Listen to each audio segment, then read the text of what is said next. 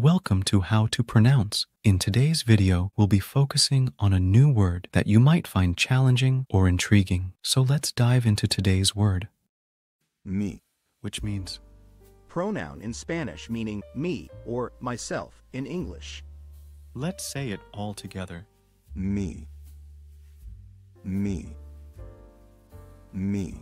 One more time. Mí. Mí. Mí. Thank you for joining us on this adventure in pronunciation. Remember, language is a journey, not a destination. Keep exploring, experimenting, and expanding your linguistic horizons.